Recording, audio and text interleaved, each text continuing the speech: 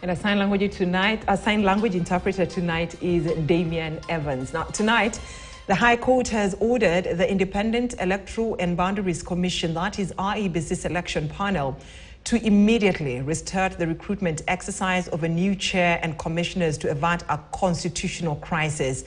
Justice Thande Mugure observed that although the reconstitution of the IEBC is a political process, the prolonged stalemate between President William Ruto and opposition leader Raila Odinga over, over the panel has altered the conduct by actually altered the conduct of by-elections.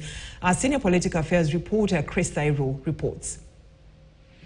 For almost a year now, the IEBC selection panel was forced to stop the recruitment of IEBC chair and six other commissioners in a bid to pave way for dialogue between Kenya Kwanza and Azimio coalition under the National Dialogue Committee. This after Azimio claimed that the membership of the panel was wanting politically. And now the process is set to resume after the High Court ordered the immediate resumption of the recruitment exercise. According to Justice Thande Mugure, the lack of commissioners at the electoral body has denied the constituents of Banisa their constitutional right of representation after the death of their MP Kullow Maalim in April last year.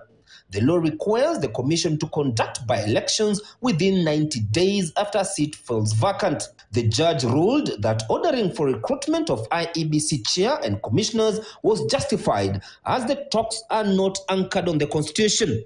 At the same time, she said the deadline to review constituency boundaries will lapse in April this year, but nothing seems to be moving on the panel side. As the Azimio leader Raila Odinga opposed the selection panel, saying that it was skewed in President Ruto's favor. The Kenya Kwanza regime is hell-bent on proceeding to unilaterally and single-handedly reconstitute the Independent Electoral and Boundaries Commission. This comes against the backdrop of the earlier illegal forcing out of four commissioners who disagreed with Mr. Fula Chebukati over the presidential election results. A biased and partisan IEBC is being put in place. The Law Society of Kenya had already raised a red flag indicating that the country was staring at a constitutional crisis. Uh, we are playing a case or tempting uh, God uh, in a very, very dangerous way.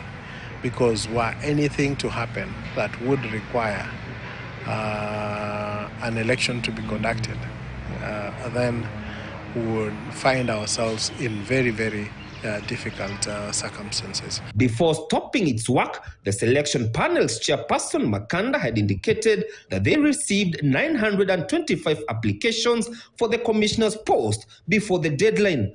Of these, the chairperson's post attracted 25 applications, while the remaining 900 were for the six commissioners' posts.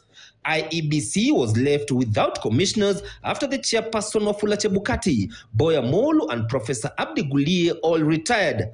The remaining commissioners, Juliana Cherera, Justus Nyang'aya, and Francis Wanderi, resigned after President Ruto appointed a tribunal to investigate their conduct in the contested 2022 presidential elections. Chris Thairu, KTN News, Nairobi. Now, the Teacher Service Commission, that is TSC, is now under immense pressure from uh, teachers.